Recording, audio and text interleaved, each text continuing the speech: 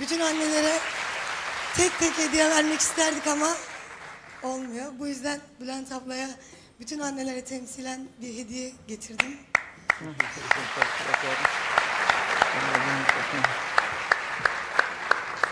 Çok teşekkür ederim. Beni o e, yüce mevkiye layık gördüğünüz için. Tanrı beni o mevkiye layık görmedi. Ama e, tabii ki e, muhakkak ki Hak Teâlâ'nın hikmetinden sual olunmaz. Fakat çok teşekkür ediyorum. Çok mersi efendim. Hepinize teşekkürler efendim. Bülent Hanım denk geldi. Size bu konuyla ilgili bir şey söyleyeceğim. Bu hafta içinde biz birkaç mektup aldık. Anneler size yazıyorlar, mektup yazıyorlar. Bizim derdimizden siz anla- anlarsınız diyorlar ve sizin anneler gününüzü kutlamışlar. Çocuklarıyla ilgili Sağ olsunlar. sizden Sağ olsunlar. Çok Bazı- teşekkür ederim. tavsiyeler istemişler. Ne Demek ki istemişler efendim? Bazı tavsiyelerde bulunmanızı. Ben ben size o mektupları vereceğim yayından Öyle mi? sonra. Peki. Evet. Ama bu ne kadar güzel bir şey.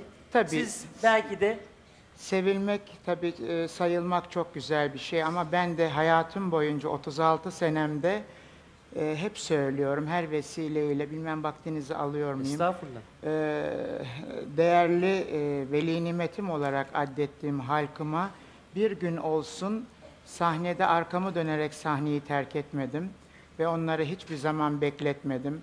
Tabi bu bir e, kültür meselesidir. Bunu herkes hazmedemez. Kültür sahibi olmak lazımdır. Peki. Çok teşekkür ediyoruz.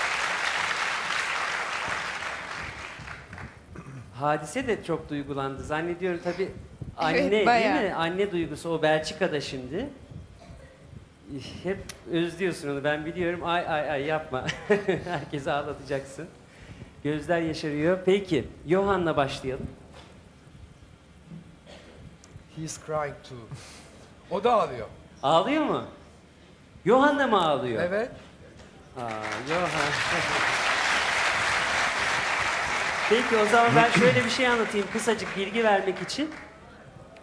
Ee, Johan'la biz hadise için tanışmıştık. Ee, Johan bana hadisenin annesini anlattı. Ondan bahsederken o sırada da gözü dolmuştu hadise. Sen de bilmiyorsun bunu. Onu dedi ben kendi annem gibi görüyorum. O bambaşka bir anne dedi. Türk anneleri böyle galiba değil mi? Yani gerçekten Türk anneleri bir başka oluyor. Ben de öncelikle şehit annelerinin anneler gününü ve tüm diğer anneler annelerin anneler gününü kutluyorum. Okay Johan. Okay. Um, we were talking about emotion. Um, Duygulardan bahsediyorduk diyor. what we saw was emotion. Gördüğümüz think- işte gerçekten duyguydu diyor. Bu duyguyu ben gördüm diyor. I saw. I think we saw. This was the best they did last three weeks. Um, Son 3 haftadaki en iyi performansları verirsen. Bir alo diyeyim bakayım. Alo. Alo. Bir alo de. Alo, Merhabalar efendim. merhaba. Ben Hadise'nin annesiyim. Gülnihal Ya. Canol, Belçika'dan. Ha canım. Bütün kızınız bütün program boyunca anne şarkılarını duydu, duydu. Gözyaşları bakın ya hadiseye bir moral verin. Siz nasılsınız orada? Şimdi sizin sesinizi duyunca iyice duygulandı.